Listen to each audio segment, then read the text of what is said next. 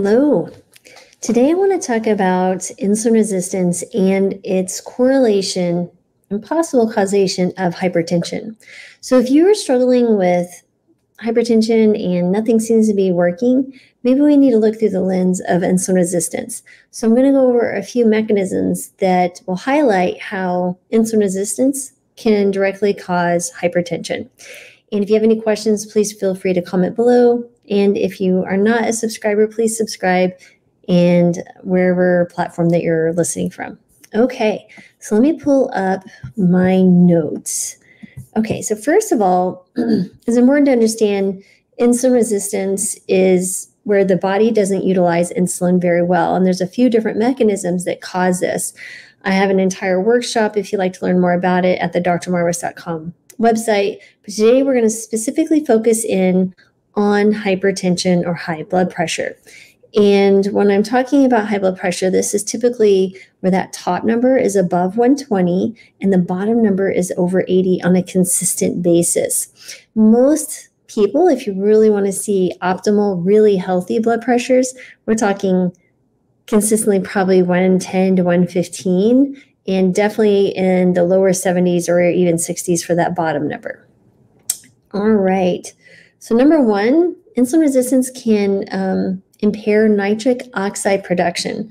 So, insulin helps to regulate the dilation of blood vessels by stimulating the production of nitric oxide. And that's a molecule that relaxes your blood vessels and reduces blood pressure.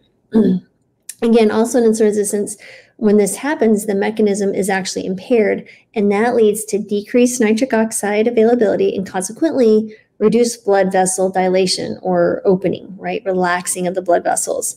And then that can recall what we call vascular resistance and higher blood pressure. So it's important to understand blood pressure is actually measuring the force that's being exerted from the inside of your arteries.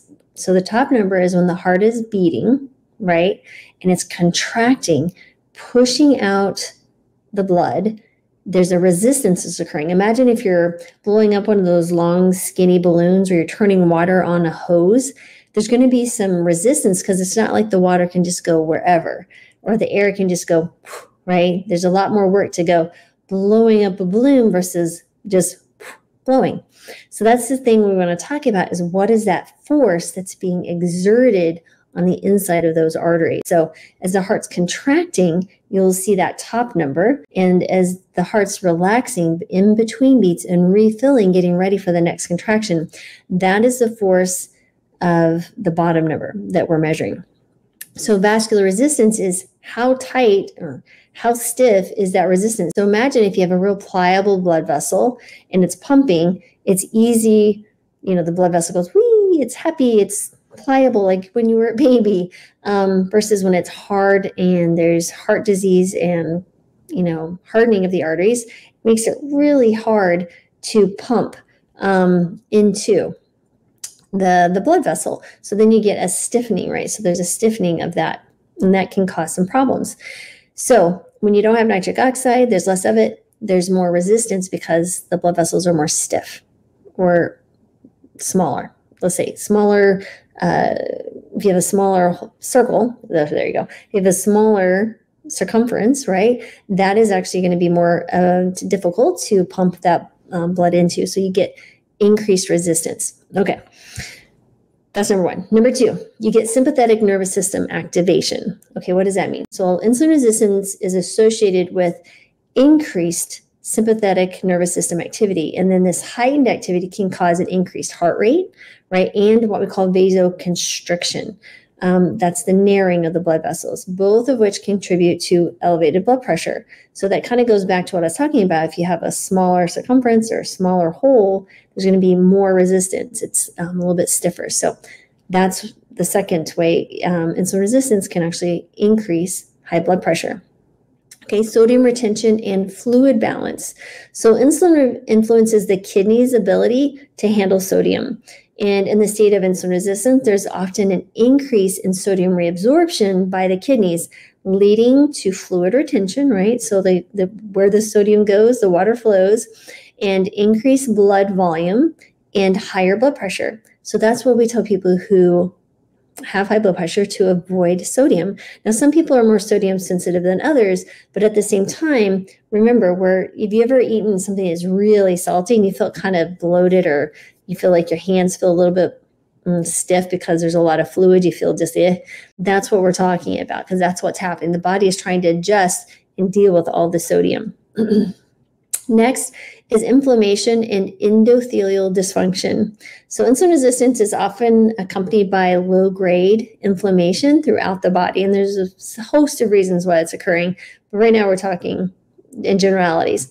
You know, chronic inflammation can damage that endothelium inside of those arteries. Um, it's the inner lining of your blood vessels and impairs function, which we've already talked about about the nitric oxide. So endothelial dysfunction is really a key factor in the development of hypertension as it disrupts the normal regulation of vasodilation and vasoconstriction. Next is obesity and adipokine, adipokine um, imbalance. So, what are adipokines? These are hormones released by the fat, which you can think of as an organ in of sense, right? So, your your subcutaneous fat, or the fat where your body stores its fat, to come out right. Where the body stores fat, that's your subcutaneous fat. It's it's a living thing, right? It responds to hormones and stresses and chemical messengers and all these things. It has a blood supply, and it in of itself releases certain hormones. So when insulin resistance is closely related to obesity, right, which is that major risk factor for hypertension in of itself, the adipose tissue in obesity secretes things, like I said, as adipokines. And some of these, such as leptin, which you may have heard about, can increase blood pressure, believe it or not, while a reduction in what we call adiponectin, um, which is common in obesity, is associated with impaired vasodilation. So, what's happening is you have obesity and you're outstripping your natural capacity to store fat in the subcutaneous area now we start storing fat in the visceral organs, around the visceral organs, in the liver, in the muscle. That causes a state of inflammation. And again, there's several mechanisms which I go into depth um, in the workshop. And I'm also about to launch an insulin resistance uh, course and how to lose weight because it's if you can affect insulin resistance, you can absolutely help many chronic diseases, but and definitely help with your weight loss. But anyway, the hormones can shift when we're at a certain point with our weight. and there's also next is insulin induced vascular changes, right? So while insulin promotes vasodilation, typically states of insulin resistance, there can be an imbalance of those signaling pathways, leading to kind of the vascular changes that favor that constriction, right? That narrowing of the hole or the blood vessel. And then finally, it's the renin angiotensin aldosterone system. It's fancy, fancy uh, words. I'll just call it the RAS, right? R A A S, RAS activation. So insulin can stimulate RAS, which it's a hormone system that regulates blood pressure and fluid balance. So activation of the system kind of leads to the vasoconstriction, sodium retention, and then that contributes to your hypertension. So really, there's multiple things here that are re- are similar or related, or you know, when one's activated, the other one as well. So it's kind of a complicated picture. But at the end of the day, if we look through the framework of insulin resistance, that's where we can really see some changes because so many things that we talk about, like, oh, okay, we have high cholesterol, oh, we have inflammation, we have diabetes, we have hypertension. So many of these things at the root one of the mechanisms. Many of these things are multifactorial. Cardiovascular disease has multiple things that can cause it, as does hypertension and diabetes. Hmm. But as far as we look, there are multiple things that can cause diabetes, especially type 2 diabetes or type 1. But anyway, get sidetracked. I'm not trying to get deep into that. But right now, if you think about the insulin resistance piece, it really is a big major player in multiple chronic diseases. And each one in of themselves can be very complicated to understand. But if we look at just the framework, like I said, of insulin resistance, which is pretty easy to diagnose and monitor, there's a few tools to do that. There's some lab work that you can do, and there's also a CGM, which we can monitor glucose because your glucose levels speak a lot to it, especially in the light of insulin resistance. First, you have to say, Do I have insulin resistance? And then a CGM, something like that, can actually become very useful. So, um, I have a glucose mastermind class. We I prescribe CGMs and we sit and we talk about, you know, educating what insulin resistance is, especially in the light of their current situation. They get their data and feedback and they start making some changes, things that can actually reverse insulin resistance. And that's where they start seeing magic happens.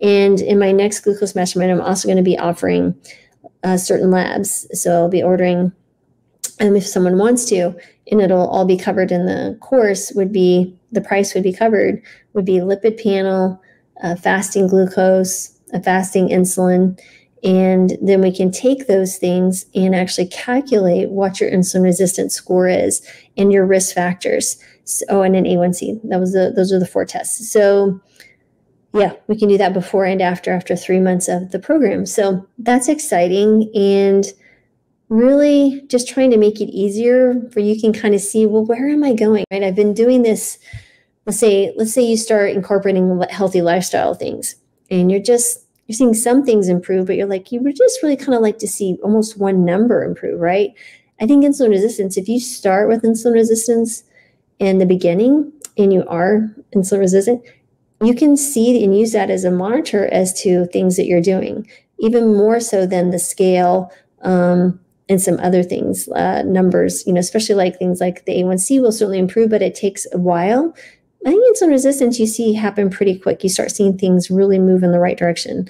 Anyway, lots to it. I hope that was helpful, but just to correlate again, you get impaired nitric oxide production, sympathetic nervous system activation, sodium retention and fluid imbalance, and then inflammation and endothelial dysfunction, obesity, and then the hormone imbalance, insulin induced vascular changes, and then the RAS activation. So, yeah, it's very complicated in the interplay, but it's once you understand it, it's actually pretty straightforward in the sense of seeing where you are and what you're doing because you're you're aware of things. And I think that's the piece here is this education and then act upon that education and see how you're doing over time. So hope that was helpful.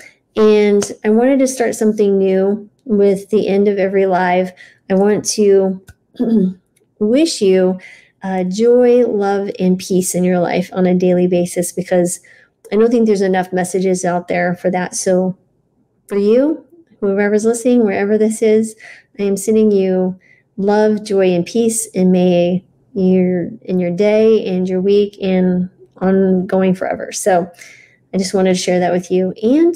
I hope you have the rest of your day is lovely as well. So we'll be back tomorrow. Have a great one. Don't forget to please subscribe, and um, we'll see you next time.